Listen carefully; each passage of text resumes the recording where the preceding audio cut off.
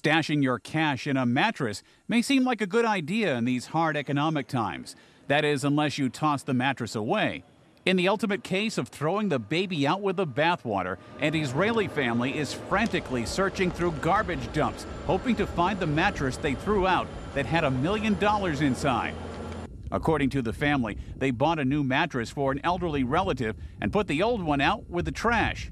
It wasn't until it was too late that they remembered she had stowed her life savings in there, a cool million dollars. This man runs one of the dumps the family contacted and says as soon as he heard the story, he called in everyone he could think of to search for the hidden treasure. Of course, he also says they get thousands of tons of garbage every day, including hundreds of mattresses. He also adds that if the mattress was in decent condition, there's a good chance a homeless person nabbed it, and the answers to their problems could be right under their head. Ed Donahue, The Associated Press.